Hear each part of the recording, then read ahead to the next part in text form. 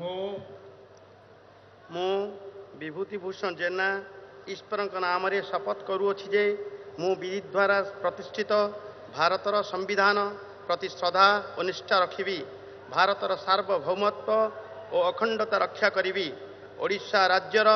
ମନ୍ତ୍ରୀ ରୂପେ ମୋର କର୍ତ୍ତବ୍ୟ ଶ୍ରଦ୍ଧା ଓ ଶୁଦ୍ଧ ଅନ୍ତଃକରଣରେ ନିର୍ବାହ କରିବି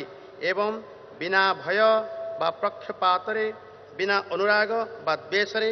ସବୁ ପ୍ରକାର ଲୋକଙ୍କ ପ୍ରତି ସମ୍ବିଧାନ ଓ ବିଧି ଅନୁସାରେ ନ୍ୟାୟ କରିବି।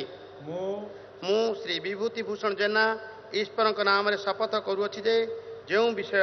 ରାଜ୍ୟର ମନ୍ତ୍ରୀ ରୂପେ ମୋର ବିଚାରକୁ ଅଣାଯିବ ବା ମୋତେ ଜ୍ଞାତ ହେବ ତାକୁ ଏପରି ମନ୍ତ୍ରୀ ରୂପେ ମୋର କର୍ତ୍ତବ୍ୟର ସମୁଚିତ ନିର୍ବାହ ନିମିତ୍ତ ଯେପରି ଆବଶ୍ୟକ ହେବ ତଦ୍ଭିନ୍ନ ପ୍ରତ୍ୟକ୍ଷ ବା ପରୋକ୍ଷ ଭାବେ କୌଣସି ବ୍ୟକ୍ତି ବା ବ୍ୟକ୍ତିମାନଙ୍କୁ ଜଣାଇବି ନାହିଁ ବା ପ୍ରଘଟ କରିବି ନାହିଁ